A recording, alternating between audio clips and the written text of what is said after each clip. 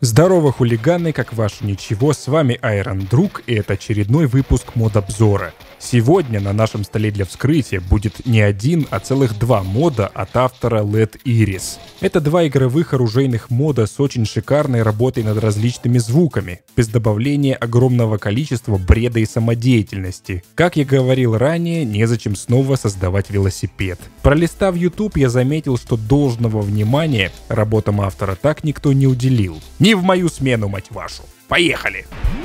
Первым модом сегодняшнего видео будет Let's Generic Weapon Mod. Данный мод был создан в августе 2016 года, а крайнее обновление пришлось совсем недавно, на середину октября 2019 года. Осведомленные люди уже нашли кучу совпадений с липетовским Weapons of Saturn, но тут все легально так как в титрах под своим модом автор поблагодарил Липпета за предоставленные ресурсы. Вот так и должны сотрудничать модмейкеры. По заявлению автора он также вдохновлялся модом Fastpans, обзор на который тоже есть на моем канале. Если захотите, можете поглядеть. Итак, что нового у нас есть в данном моде? Во-первых, автор переделал почти весь арсенал, сделав его более функциональным и удобным. Как я понял, бесполезного оружия у вас не будет, что радует. Весь ваш арсенал, включая пулемет, вы теперь сможете перезаряжать. У некоторых видов оружия есть альтернативная атака. К примеру, ваша новая бензопила. Кстати, зацените ее новый внешний вид. На основной атаке вы ее врубаете и она всех режет.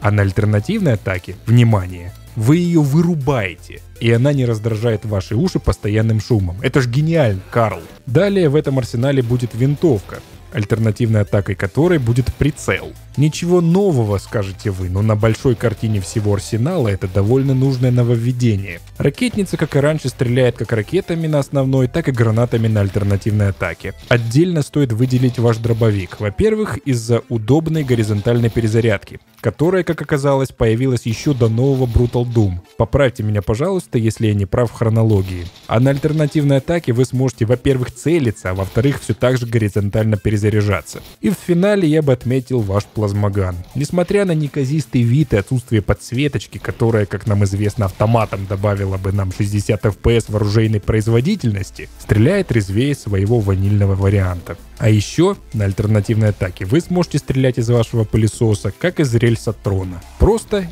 и без лишних понтов. Плюс зацените, как небрежно главгерой теперь перезаряжает свой плазмоган. Звук вашего нового оружия — это вообще отдельная песня. А если вы будете играть в этот мод в хороших наушниках, то вам понравится еще больше. Ах да, как полагается, автор добавил в свой мод специальное меню опций, чтобы вы могли настроить его под свой стиль игры. Черт его знает, возможно вам, как и мне, надоест постоянно перезаряжать свой пулемет или стрелять одиночными из двустволки. Не ленитесь поставить в этот мод какую-нибудь приправу наподобие тех, что я пихаю в каждое видео и которые я уже задолбался упоминать. Еще хохмы ради можете поставить тот странный алкоаддон, ссылку на который который я кину в описании под видео.